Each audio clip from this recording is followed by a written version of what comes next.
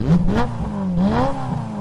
Поселок Аксеново-Зиловское в Амурской области. Здесь живет около трех с половиной тысяч человек. И еще совсем недавно его можно было назвать умирающим населенным пунктом. Но четыре года назад ситуация в поселке резко изменилась. Достаточно было личного визита Владимира Путина в глубинку. Селяне пожаловались, что молодежи нечем заняться. И через два года в Аксеново-Зиловском построили спорткомплекс с бассейном. Теперь в поселке стало модно вести здоровый образ жизни. Бассейны и тренажерный зал, они очень популярны.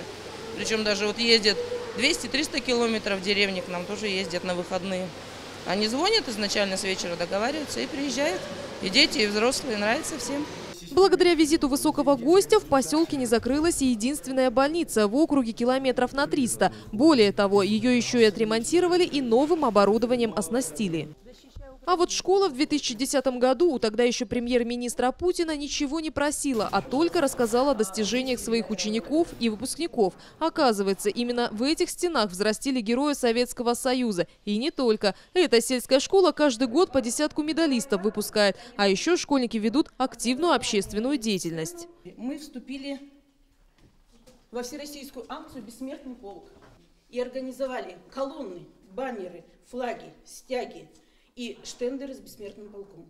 72 фронтовика мы держали и несли. И у нас прошел чудесный митинг.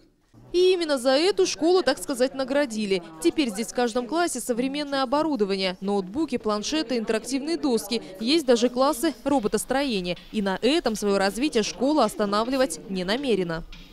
А вот с чем в поселке есть серьезные проблемы, так это с переселением людей из аварийного и ветхого жилья. А такового в поселке больше половины. 100 новых домов для местных жителей уже построено по федеральной программе, и ключи от них розданы. И селяне их обживают, и все бы было хорошо, если бы не одно «но». Я очень довольна, что дали мне эту квартиру, я отлично все это. Единственное, котлы, и вот каждый подтвердит, да, что нам нужны котлы, нет дымок. Из-за этих некачественных и маломощных котлов, уверяют местные жители, уже сгорело три дома. И этот недостаток нужно исправлять. Местная власть пока думает, как это сделать и где взять на это деньги. Но обещает все-таки помочь новоселам. Татьяна Гнездилова, Олег Петров. Экспедиция 2014.